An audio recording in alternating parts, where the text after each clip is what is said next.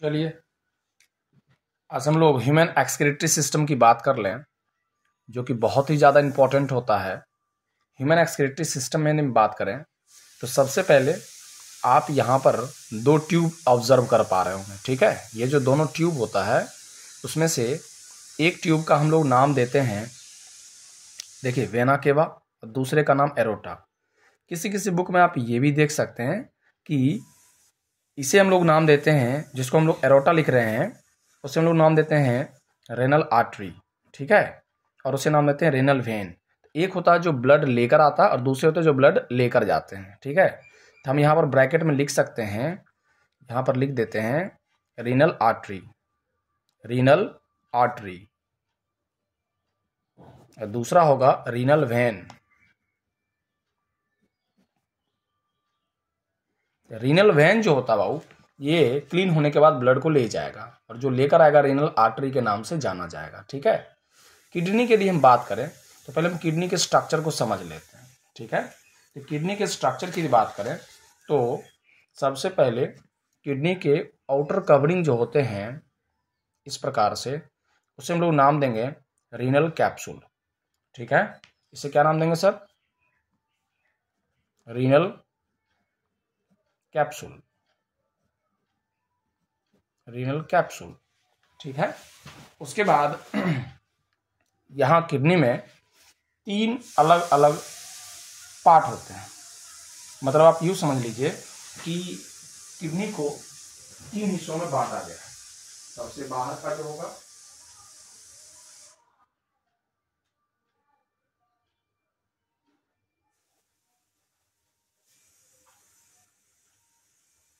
सबसे बाहर वाला हिस्सा कॉटेक्स के नाम से जाना जाएगा।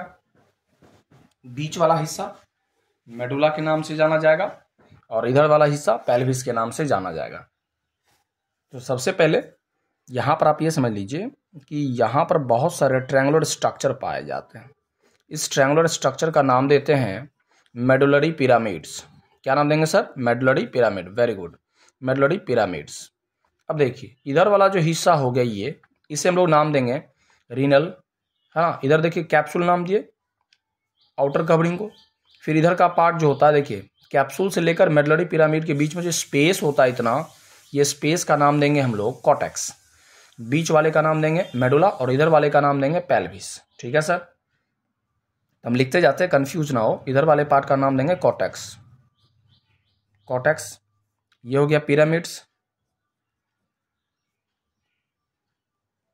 मेडलरी पिरामिड भी हम कह सकते हैं इसको। उसके बाद ये जो ट्रैंगुलर स्ट्रक्चर देख रहे हैं, इसका नाम देते हैं मेडलरी पिरामिड्स ठीक है? अच्छा बीच बीच में जो गैपिंग दिख रहा होगा आपको पिरामिड के बीच बीच में गैपिंग जो दिखता है, इसे हम लोग नाम देते हैं papilla renal papilla renal papilla ठीक है? ये जो बीच वाला हिस्सा होता है जिसमें ये ट्रैंगुलर स्ट्रक्चर है, उसको हम लोग नाम देंगे मेडुला मेडुला। और यहाँ पर ब्लड वेसल्स पाए जाते हैं।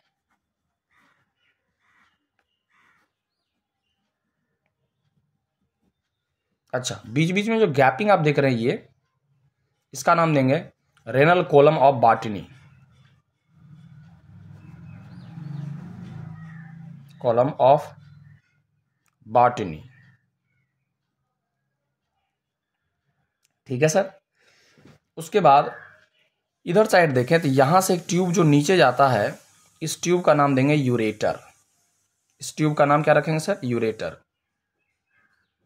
ठीक है सर? इसमें जो ब्लड लेकर आएगा, जो ब्लड लेकर आता है, उसे नाम देंगे रीनल आर्टरी। Renal artery. और जो क्लीन होने के बाद ब्लड लेकर जाएगा ट्यूब, उसे नाम देंगे रीनल वेन। ठीक है सर? इधर वाला हिस्सा जो होता है, इस रीजन को नाम देते हैं पेल्विस बीच वाला मेडुला इधर वाला कॉटेक्स ठीक है सर? इस प्रकार से यहाँ से ट्यूब नीचे आता है। अब इस डायग्राम में समझिए बात। ये देखिए।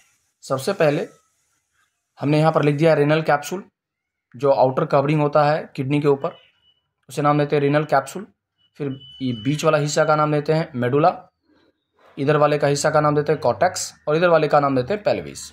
यहाँ से यूरेटर जो होता है, यूरिन को लेकर नीचे आएगा। और नीचे आएगा कहाँ पर? एक थैली में। इस थैली का नाम देते हैं ब्लैडर, यूरेनरी ब्लैडर भी हम कह सकते हैं।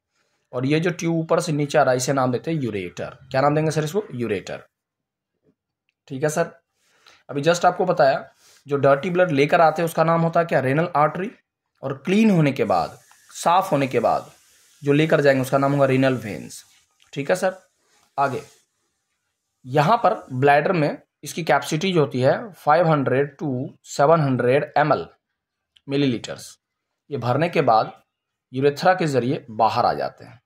अब नीचे का जो स्ट्रक्चर है, इसको आप समझिएगा बढ़िया से। क्या कि किडनी का जो स्ट्रक्चरल और फंक्शनल यूनिट होता है, वो नेफ्रोन होता है, जो कि आप इस डायग्राम में देख सकते हैं। ठीक है? इसे हम लोग किडनी का स्ट्रक्चरल और फंक्शनल यूनिट के नाम से जानते हैं, ठीक है? इसी को हम लोग नेफ्रोन के नाम से स्टडी करते हैं, ठीक है?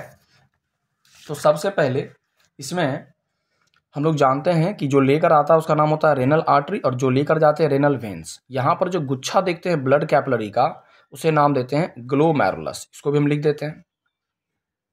इस गुच्छे का नाम देते हैं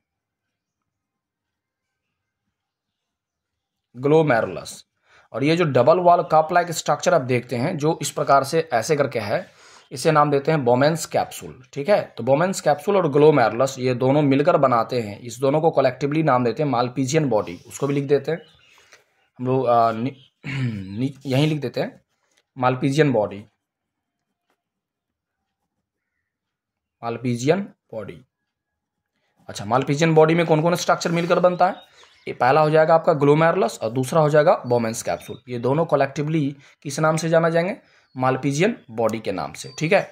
उसके बाद पहला जो टेढ़ा पाइप आप देख रहे होंगे यहाँ पर, ये जो पहला टेढ़ा पाइप स्टार्ट होता है, इसे नाम देते हैं पीसीटी पीसीटी का पूरा नाम होता है प्रॉक्सिमल कॉन्वोलेटेड टिब्यूल यह हम लिख देते हैं प्रॉक्सिमल कॉन्वुलेटेड ट्यूब्यूल इसमें सबसे ज़्यादा रीअब्जॉर्बेशन होता है seventy two eighty percent seventy two eighty percent reabsorption सबसे ज़्यादा देखिए किडनी के अंदर तीन मेन काम होते हैं नेफ्रॉन में। अपने ये नेफ्रॉन जो देख रहा है किडनी के अंदर का स्ट्रक्चर होता है। मिलियंस के नंबर में ऐसे नेफ्रॉन पाए जाते हैं, ठीक है? ओके तो ये जो नेफ्रॉन होता है, उसे हम लोग स्ट्रक्चरल और फंक्शनल यूनिट बोलते हैं। सबसे पहले देखिए डर्टी ब्लड को लेकर आएगा रेनल आर्टरी यहाँ ग्लोमेरुलस में फिल्ट्रेशन होगा। फिल्ट्रेशन नहीं अल्ट्रा फिल्ट्रेशन होता तीन काम होते हैं। पहला होता है अल्ट्रा फिल्ट्रेशन दूसरा रीअब्जॉर्बेशन तीसरा सिक्रीशन फिर से रिपीट कर दें। पहला होगा अल्ट्रा फिल्ट्रेशन दूसरा क्या होगा सर रीअब्जॉर्बेशन तीसरा क्या होगा? सिक्रीशन होगा। ये तीन इंपॉर्टेंट वर्क जो है हमारे किडनी के अंदर परफॉर्म किए जाते हैं। ठीक है सर चलिए। तो रेनल आर्टरी सबसे पहले डर्टी ब्लड को लेकर आएँगे। ये जो गुच्छा आप देख रहे हैं ब्लड कैपडी का दैट इज़ कॉल्ड ग्लोमैरलस और ये जो लेकर जाते हैं क्लीन ब्लड होने के बाद रेनल वेन्स अच्छा यहाँ पर ये जो डबल वॉल कापला के स्ट्रक्चर उसका नाम देते हैं बोमेंस कैप्सूल ये जो पहला टेढ़ा पाइप होता है, उसका नाम होता है पीसीडी जो seventy two eighty percent reabsorption करेंगे। ये जो ट्यूबुलर पार्ट आप देखते हैं, इसका नाम होता है लूप ऑफ़ हैंडलेस क्या नाम देंगे सर लूप ऑफ़ हैंडलेस इसमें भी यहाँ से जो नीचे पार्ट आता है, यहाँ तक, इसे नाम देंगे ऊपर से जो नीचे आ रहा है, उसको बोलते हैं डिसेंडिंग इसे क्या नाम देंगे? डिसेंडिंग लिम्स जो पार्ट ऊपर जा रहा है, उसका नाम क्या देंगे? आप लोग खुद ही गेस कर सकते हैं असेंडिंग लिम्स इस दोनों में सोडियम की वाटर की एब्जॉर्बेशन ये करती है। फिर यहाँ के बाद ये जो टेढ़ा पाइप आप देख रहे हैं, वापस से इसका नाम होता है डीसीटी डीसीटी का पूरा नाम होता है डिस्टल डिस्टल कॉन्वुलेटेड ट्रिब्यूल फिर ये जो सीधा पाइप आप देख रहे हैं, इसका नाम होता है कलेक्टिंग डक्ट और ऐसे ऐसे एक कलेक्टिंग डक्ट से तीस हज़ार नेफ्रॉन जुड़े होते हैं। और यही कलेक्टिंग डक्ट आपके मेडलरी पिरामिड जो आपको बताए थे किडनी के अंदर, इस प्रकार से जो ट्रैंगुलर स्ट्रक्चर होते हैं, उसका नाम क्या देते थे? मेडलरी पिरामिड्स तो यही कलेक्टिंग डक्ट से मिलकर बना होता है मेडलरी पिरामिड्स और बीच बीच में जो गैपिंग आपको दिखता नज़र आता होगा, इसे नाम देते हैं renal column of Bertini okay good luck यहाँ से आगे नेक्स्ट डे बताएँगे अगले सिस्टम को। जिसमें हम लोग का रहेगा ह्यूमन सर्कुलेटरी सिस्टम कल के वीडियो में। Okay good luck to you all